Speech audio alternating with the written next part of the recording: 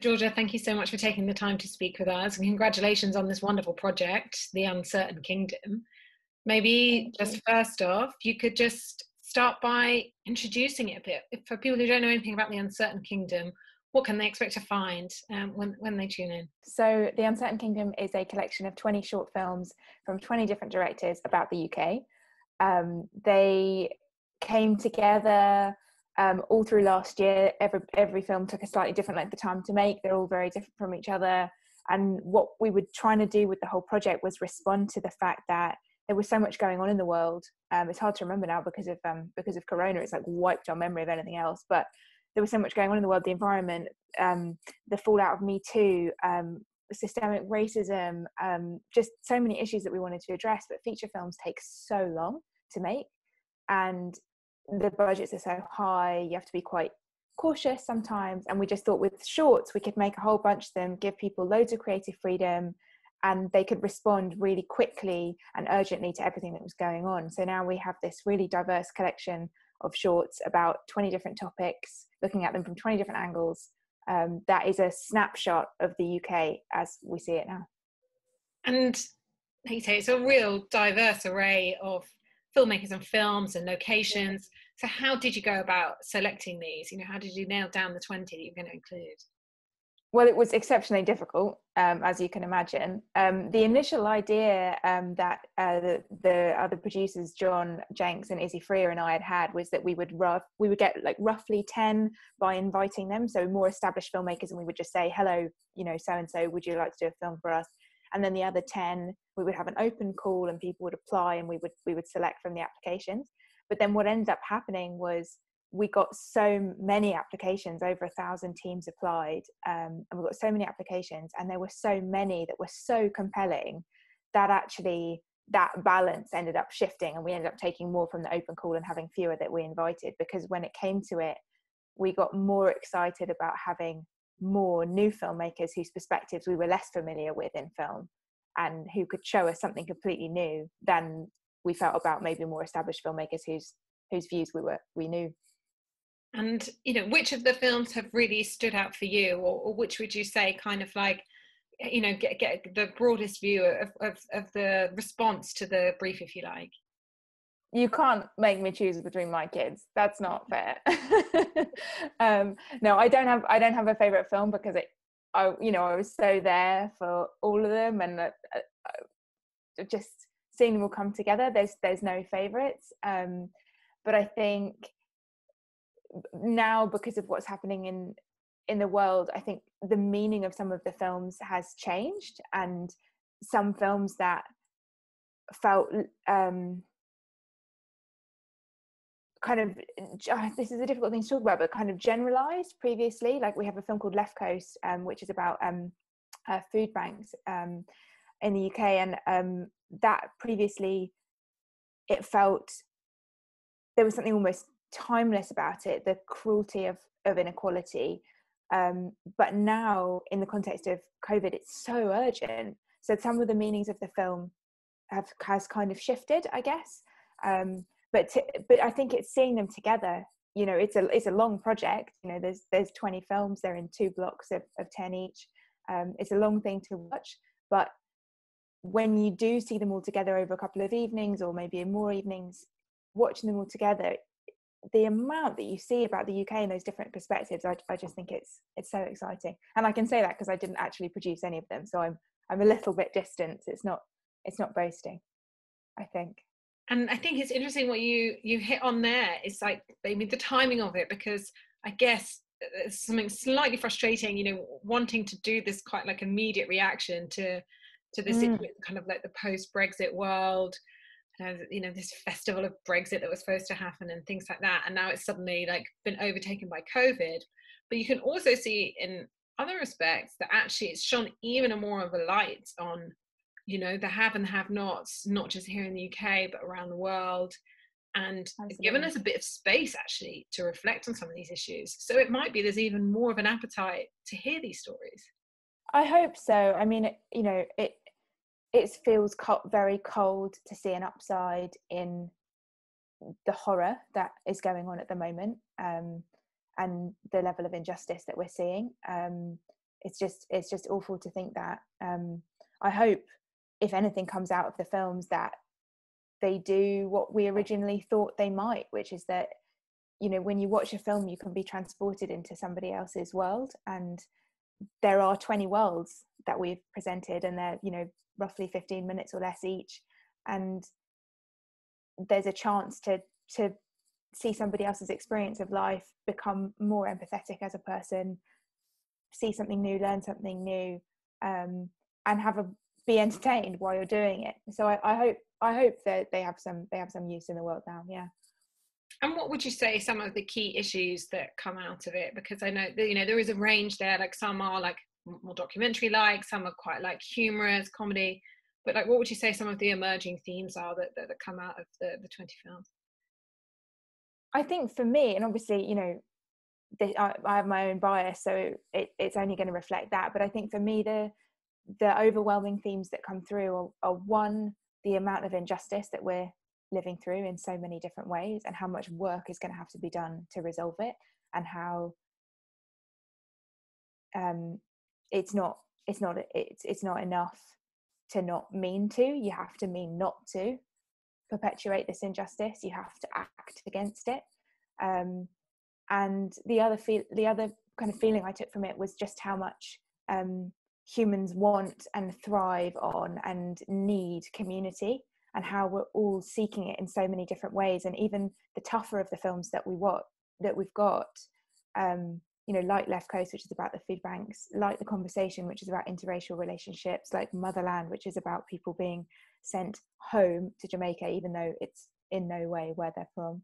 Um, it it's how much people want to be in a community connected to each other feeling at home feeling welcome how much we will need that. And i think yeah at a time like this when we're all yeah i'm talking to you digitally when we're all disconnected that that feels even more um, powerful. And were you surprised you know if you give people the same brief you might expect there to be some like similarities. Were you shocked by like how like in different directions people went? Like some oh, completely. so abstract and kind of you know like very humorous and then some you know very kind of realistic. So was that something that really like was great for you to see yeah it was an absolute thrill. I mean the the commissioning process was so eye-opening because obviously you know john and izzy and i are you know reasonably engaged people and we had our own ideas about what people might submit. Um, but then you get over a thousand applications you know let's say two three people submitting together in a team. That's a thousand perspectives. I mean the number of topics that were covered and it was it was just every every application we were reading was just like wow. And then some of them it was like where are you going with this? You know this really i just don't i just can't get in i don't understand what you're trying to tell me.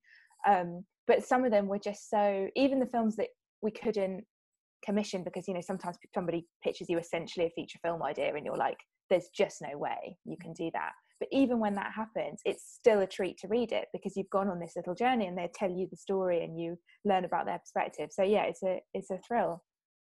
And what do you hope that people are going to take away from watching this? Because, like we say, it's hitting on some really big, meaty issues that I think are even more relevant now than perhaps they were.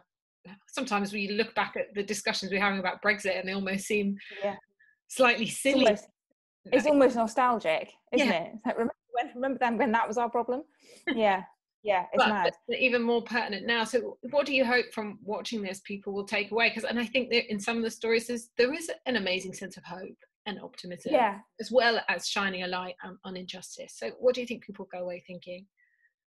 I really hope that people watch them and then talk to each other about them, whether that's people who've watched them literally in their own house or you know maybe friends that have, might have seen them because i think that's what we always hope people would do would be gather around them and talk about them and talk about the issues. You know we intended the films to be a jumping off point for conversation. It can be quite hard to have some of these big conversations about these big issues. We can feel shy we can feel like we don't have the language um, but having a film and being able to say to talk about that character or to talk about that event it can be a route in and i really hope that people do that and feel um, inspired to inspired to talk about them. Um, and also i hope that people are entertained. I hope that people have a few hours being transported out of their living room. I mean that's that's what you hope. And in that sense, do you see that there is an amazing role for film and culture more broadly for shining a light on on these different issues that you know reading the news you know following politics you know it can all just seem a bit of a farce. And then actually to kind of open up our ways of thinking and actually get glimpses of people's lives and people's you know different ways of, of looking at these issues is actually incredibly powerful and can actually be have more of an impact than just you know reading statistics and, and, and news articles all the time. Absolutely. I mean there's there's a place for both. You know we wouldn't want to do away with either with either one of them um, but i think in in times like this i think we all go to broadly the arts you know whether that's that wonderful family that sang Les Mis to us with different lyrics you know whatever their names were i can't remember or or something that's been you know put together like like our collection. Um, i think we all look for that to, as ways to connect to each other to see other stories to see other other other ways of living um, and to relate you know we want that human community. Um, and i'm i'm really pleased i think the uncertain kingdom does offer that and especially because it's short you get so much of that in such a short period of time you know so much travel through so many different worlds. Um, but yeah i think it's it's so essential it's so essential. When we're bombarded especially in the 24 hours news cycle where we're just bombarded with this statistic that statistic and it can like you say it just feels like a soup sometimes and you just don't know what to pull out from it.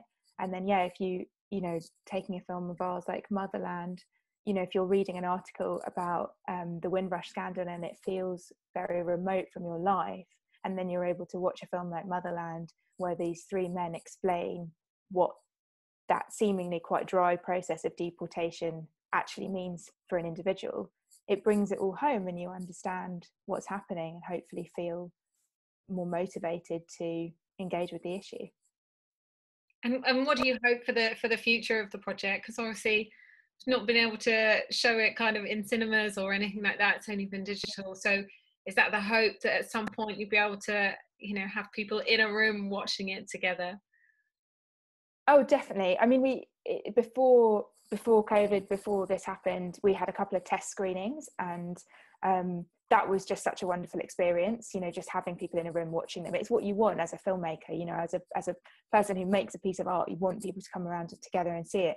And I think, yeah, I mean, we can't wait to do that. We still want to do community screenings as soon as we're allowed. Um, and then beyond that, you know, the life of the project it, it exists now as a kind of time capsule, as every piece of art does for its time um, we're very lucky it's been um, inducted, if that's the word. I don't know. It's been taken into the BFI archive, so it will exist, you know, into the future, which is a lovely thing to think about.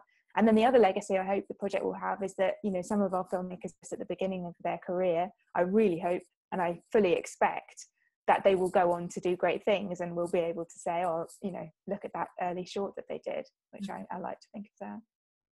And for you yourself, are you working on other projects already, or are they all on pause? You know, what can we expect from you next? Yeah, I mean, the corona imploded my professional career which is a you know or the year of it anyway which is a very champagne problem so i've got nothing to complain about. But um i was three weeks into prep for a feature film um which hopefully will pick up again as soon as we're we're allowed. And then i've just got you know different things kind of in development in the background and actually lockdown is fine for development. You know it's just you at your desk and reading and getting back to people so that's fine okay well that's been amazing. Thank you so much for sharing all that with us and congratulations that's my pleasure. on a wonderful project.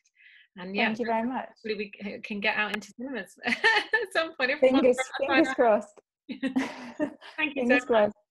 thank you for talking to me. Bye. Thanks georgia. That was lovely. Thank you